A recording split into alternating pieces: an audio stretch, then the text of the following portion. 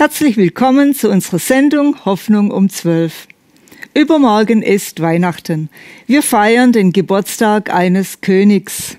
Jesus, ein König, der uns den Frieden ins Herz geschenkt hat. Es ist ein Fest des Friedens und das wünschen wir jedem Einzelnen. Hoffnung um 12 auch heute wieder. Wir wollen dich ermutigen. Ja, was schenkst du an Weihnachten? Lass uns dein Gebetsanliegen wissen. Wir beten gerne für dich. Auf gebet.missionswerk.de, im Chat oder auch am Telefon bis 13 Uhr. Was schenkst du an Weihnachten? Eine Playstation, eine Flasche Wein, Süßigkeiten und so weiter. Ja, das ist bestimmt nicht schlecht, sowas zu verschenken, aber Möchtest du was Wertvolles verschenken? Du sagst vielleicht, ja, eine Playstation, du weißt gar nicht, was die kostet. Ja, doch, die kostet eine Menge, aber was Wertvolles? Ich glaube, sowas wie Liebe verschenken, Wertschätzung verschenken, die Werte, die uns Jesus, der für uns geboren wurde, gegeben hat, in denen wir leben dürfen. Und Jesus kam nicht wegen unserer Geschenke. Er kam eigentlich, um dir ein Geschenk zu machen, um mit dir eigentlich ja, durchs ganze Leben gehen zu dürfen, in Gemeinschaft, in der Gemeinschaft mit ihm gehen zu dürfen. Nicht nur die vier Wochen Advent, wo wir das sehr intensiv erleben. Nein, er möchte jeden Tag mit dir gehen, auch die Tage, die nicht so schön sind. Er möchte seine Liebe dir schenken, er möchte seine Hilfe dir schenken, er möchte seine Rettung dir schenken und so vieles mehr. Lass dich wirklich von Jesus beschenken. Du sagst vielleicht, ich schenke so viel her und bekomme fast nichts und der eine hat es nicht mal bemerkt und dem hat er Danke gesagt und, und mir nicht mal die Kleinigkeit und, und so weiter. Ich sag dir, das große Geschenk bekommst du von Jesus. Herr Jesus, ich danke dir dafür, dass du das große Geschenk für uns bist. Egal, was wir in Weihnachten bekommen, oder auch nicht bekommen. Herr, danke, Herr. Herr, danke, Herr, du bist größer denn jede Enttäuschung. Herr, danke, Herr, dass du der Grenzenlose bist. Und lass uns dich auch erleben, Herr. Dieses Geschenk, Herr. Wir wollen es auspacken mit allem, was du uns geben möchtest. Amen. Amen. Ein Gebetsanliegen haben wir für den Sohn und seine Familie. Liebes Gebetsteam, nun habe ich ein Anliegen und bitte um Gebetsunterstützung für meinen Sohn. Untersuchungen beim Hausarzt ergaben bis jetzt kein Ergebnis. Körperlich scheint alles in Ordnung zu sein, aber es geht ihm sehr schlecht. Bitte betet für meinen Sohn und seine Familie. Gott kümmert sich um alle Bereiche unseres Lebens. Ja, und das ist wahr. Und Jesus, wir danken dir, dass du auch diesen Sohn kennst und wo es ihm schlecht geht und seinen Zustand, seinen körperlichen Zustand. Und ich danke dir, dass du eingreifst, dass du ihn durchströmst mit deiner Heilungskraft und dass er vollkommen wiederhergestellt wird in deine göttliche Schöpfungsordnung. Danke, Jesus. Du bist der Herr auch über diesem Sohn und über seiner ganzen Familie. Danke, Jesus, dass du auch da wirklich Frieden schenkst und, und Mut und, und Glauben. Danke, Jesus, dass du die ganze Familie stärkst. Danke, Jesus. Amen. Amen. Und eine Frau schreibt für ihren Verlobten. Hallo, mein Verlobter hatte einen schweren Herzinfarkt. Er liegt in der Klinik im künstlichen Koma und kämpft um sein Leben. Ich bitte um Gebet. Vielen Dank. Und Jesus, du kennst auch diesen Mann. Danke, dass du ihm begegnest, auch dort in seinem Koma. Danke, dass du ihn wieder herstellst und dass alle Organe wieder funktionieren. Danke, Jesus, dass dieses Herz wieder in Ordnung kommt und in den richtigen Rhythmus schlägt. Danke, Jesus, für ein stabiles Herz und dass du eingreifst und dass dein Heilungsstrom fließt. Danke, Jesus. Amen. Amen. Schreib uns dein Anliegen. Die Infos sind eingeblendet.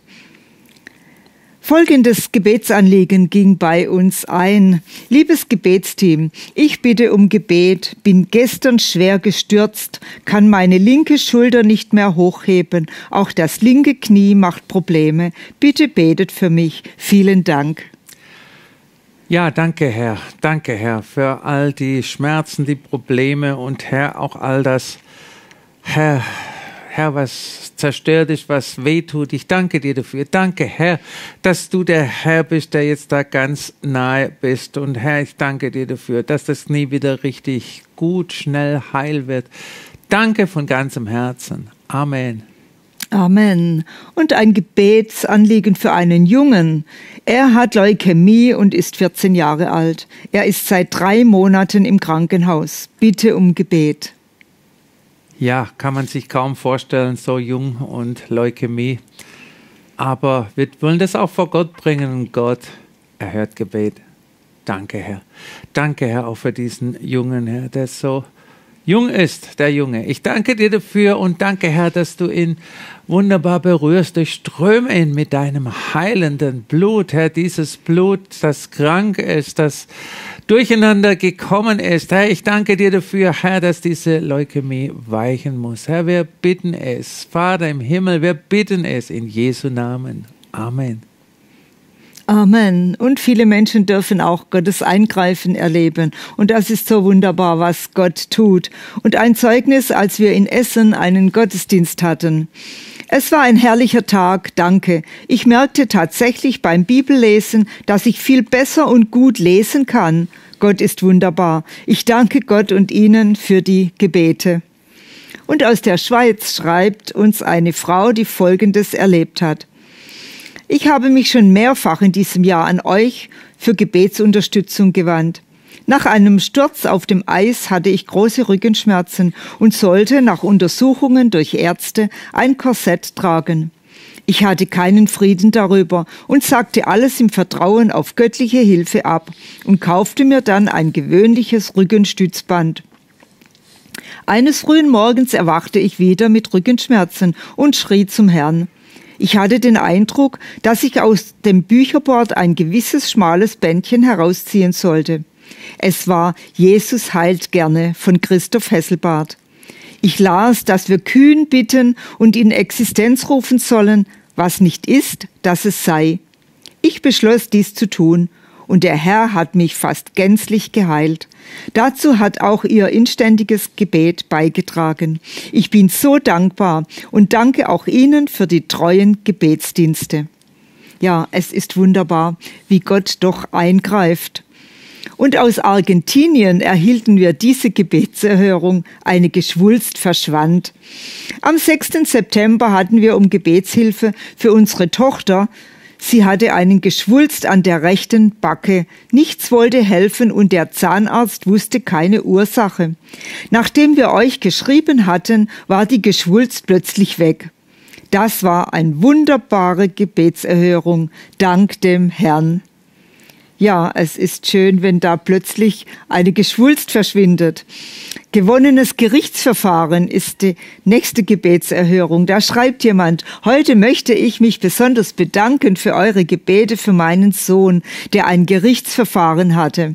Jetzt ist es nach zwei Jahren endlich vorbei und mein Sohn hat den Sieg erhalten. Gott sei Dank. Ja, auch Jesus streitet für uns. Wie wunderbar wieder diese Erhörungen zu lesen. Und du sagst vielleicht, ja, ja, ich muss auch hinschreiben. Ganz, ganz gerne darfst du schreiben. Aber nenn uns auch die Erfolge, wo du sagst, ich habe Gott erlebt. Er hat mir geholfen. Lass es uns wissen. Die Nummer und die Verbindung ist eingeblendet.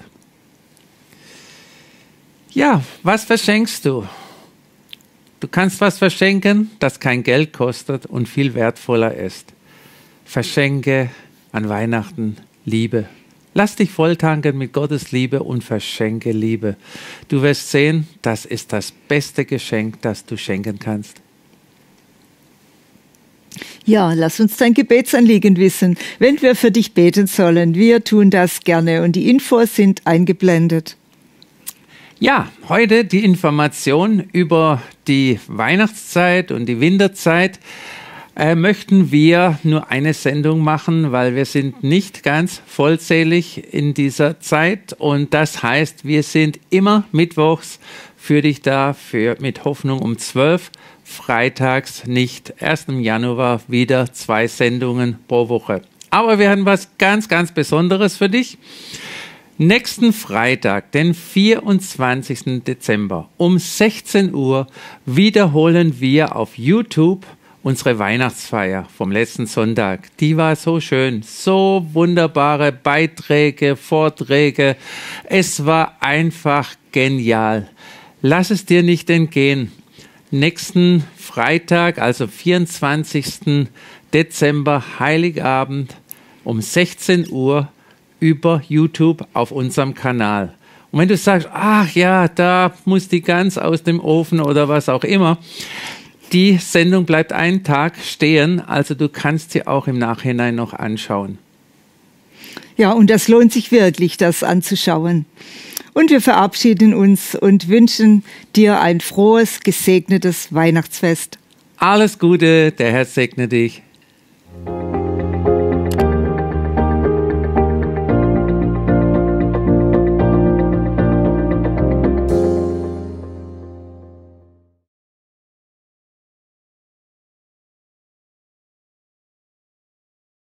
Wusstest du, dass du mit deinen Sorgen und Problemen nicht allein bist?